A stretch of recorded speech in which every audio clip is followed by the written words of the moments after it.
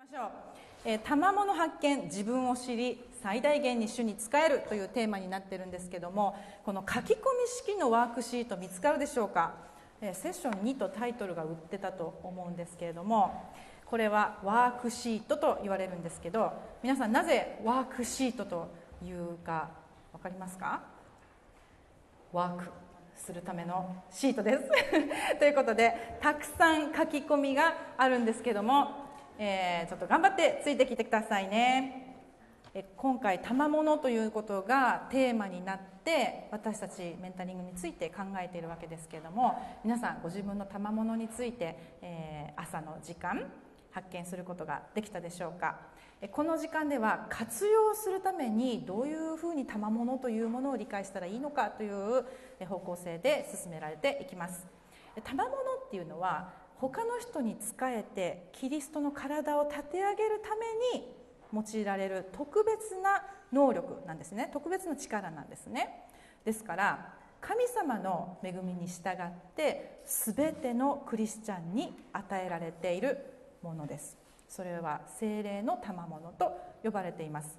だから「いや私には何もできることがないの」って、ね、こう日本人の皆さんは謙遜に思われる方もいるかもしれないんですけれどもえー、能力とは別にですね賜物というのは神様の恵みに従って全ての人に与えられているものなんですね、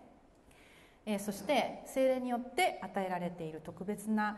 力なのでこれは生まれながらのスキルとか能力とかあの引き継いだものとか才能とかとは違うんですね。そこの誤解をちょっと解いていくとあの人とね比べたりすることももしかしたら減っていくかもしれないですね。えっともう一個出てきたっけ？C までだったっけ？これ。次。あありますね。賜物の発見によって飯の発見につながっていくんですけれども自分の賜物が何かっていうのが分かってくると神様が私をどのように御国の建設のために用いどこの場所でえー、そのね賜物を使っていくのかっていう飯を発見していくことにつながっていくんですね。なので賜物の発見っていうのは一つのステップでとても大切な、えー、部分です。でこのワークシートどんどん進んでいきますけれどもこの今の ABCD の4つのポイントに沿っていきますね。まず最初のところはキリストの体を立て上げるために用いられるということでしたのでえー、一番初めのブランクのところにはキリストの体と入れていただいてでその中においてちょっと見にくいですけど目的。次は目的を果たすように与えられていると書いてください。でそれは喜びと責任を持って賜物を用いる態度が必要になってくるとありますね。なのであの自分勝手に使って自分の目的を達成するために賜物があるのではないということが分かりますね。でまた目的を持って賜物を与えられてる私たちなのでこのキリストの体においてそれらを用いるですね用いると入れてください。用いることを神様は願っています。利用するんじゃないんです。用いて神様のために使っていくんですね。で他の器官体の器官である者たちに使えるようにデザインされているのでそのことが第一コリントのところに書いてありますけれどもこれは自分自身のためにあるのではないということが分かりますね。すいませんまだ A のとこでしたけど。はい。です。一番最後のポイントは賜物を用いて磨くことによって神様の栄光を表すことができ私たち自身も成長すると入ります。キーワード大丈夫ですか？皆さん。あの、ね、また後で復習にゆっくり時間を使っていただきたいと思いますけれども、まあ、とにかくここでの A のポイントはキリストの体を立て上げるためなんだ。それは目的があって与えられるものなんだ。自分勝手に使うものではない。そういうことをちょっと覚えてください。では B に行きましょう。えー、次のポイントは神様の恵みにより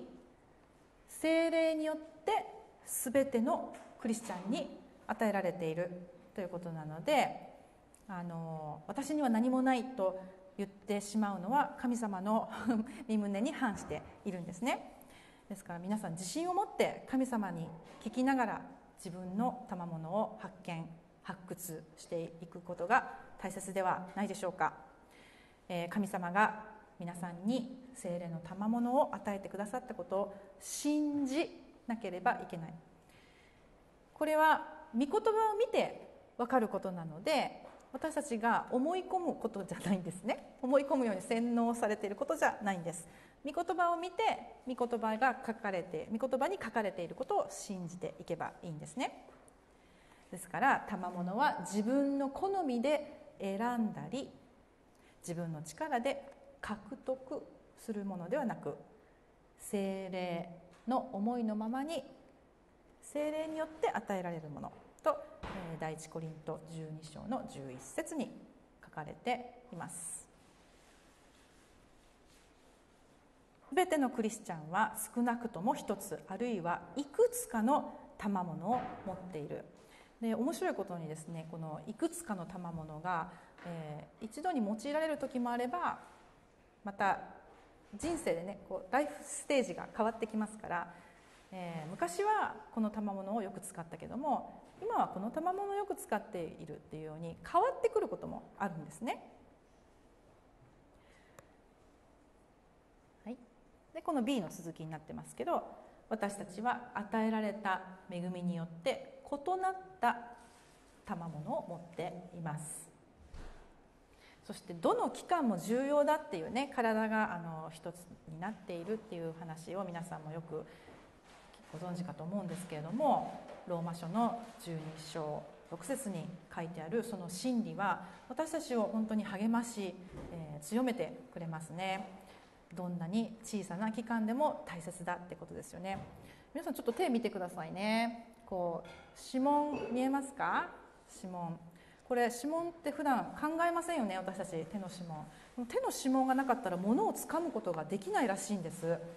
それぐらい小さな普段考えないようなものも重要だっていうことですね。で、えー、裏面に行きますけれども精霊の賜物というのはカリスマというギリシャ語があるんですけどもこのカリスマというのは恵みという意味があります。ですから賜物について考える時にこの神様の恵みっていうこの関係密接な関係があるんですね。だって賜物っていう言葉自体が恵みっていうことですから皆さんが自分の賜物について考える時にこれはただ私が好きなことだからとか私ができることだからではなくて恵みによって救われ恵みによって与えられている何かの力それをどうや何のためにどのように使っていこうかってこう真剣に求めていくことは神様が喜んでおられることではないでしょうか。はい。じゃあ次の C のポイントは霊的賜物は生まれながらの能力。とは違うということなんですね。賜物について理解するときにここにたくさんの混乱があるんです。自分ができることっていうのはついついこの私の力だ能力だって思ってしまうことが多いかもしれないんですけれどもそこちょっとかぶる場合もねあるんですが何、えー、て言うのかな。クリスチャンになってからいろんなこう教会のためにまたキリストの体のためにできることが新しくできることが分かってきたことって皆さんはないでしょうか？なんか私こんなことできるんだって。教会のためにこんなことがあの力が与えられてるんだって、ね、あのその能力とかはまた賜物とはちょっと違うという区別をしてくださったらいいですね。この遺伝と訓練の結果である能力に対し霊的賜物は精霊の力の結果であるということですね。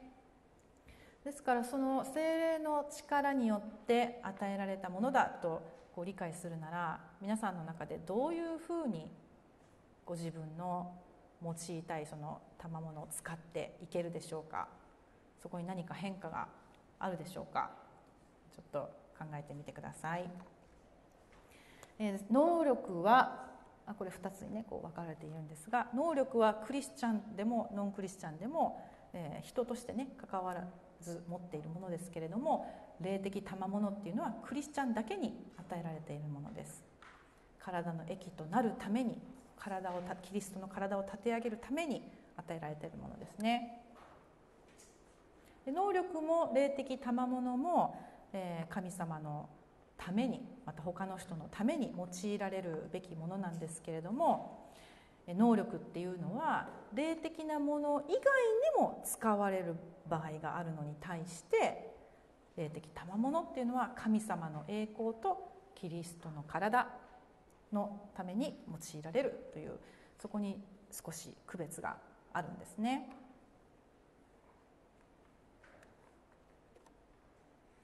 例えばねあの、まあ、音楽できる方たくさんいらっしゃると思うんですけれども、えー、自分のあ楽しむことは悪いことじゃないんですよ。楽しみだけのために弾くのかコンサートをするようなその、ね、ためにこう能力を伸ばしたり披露したりするために使うのかあるいは例えば礼拝の中で使うのかでは使い方が違ってきますよね。どちらがいいとか悪いとかいう話ではなくてそれが音楽ができるというその、えー、力が、えー、まあね潜在的な 能力的なところもかぶってくるかもしれないんですけれども神様のためにどうやって用いていこうかっていうふうに思考がなっていきますよね。はいじゃあ D のポイントいきます。自分に与えられた賜物を発見することによって飯を、えー、発見する。その飯というところにつながっていくということなんですがこの過程が本当に祈りが必要となってきますよね。神様は私をどういう人になるためにどういうところで用いるために誰のために用いるためにこの能力を与えてくださったのだろうかと飯を発見していくことができます。道夫さんがねさっきあの図で見せてくれたようにいろいろなことを検討する中でその中でまたメンタリングっていうのが役に立ってくることもありますね。ここにありますのは神様は私たちが賜物を発見することを願っておられて、えー、それはこの何ですか？飯と任命を発見することにつながる。そしてそれは神様の御心を行うことでキリストの体としての機能を果たすために必要なことである。